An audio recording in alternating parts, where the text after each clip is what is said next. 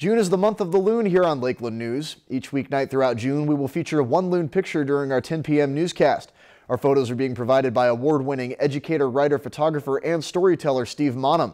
Steve is also providing a loon fact and or tip for each day's photos. A large percentage of Minnesota loons migrate to the Gulf of Mexico in late fall where they stay over winter. A research project tracks movement and feeding habits of these birds in Minnesota, Wisconsin, and Michigan to see how they're reacting to environmental concerns. Our thanks to photographer Steve Maanum for providing these photos. At the end of the month, you can vote on our Facebook page for your favorite loon picture featured here on Lakeland News.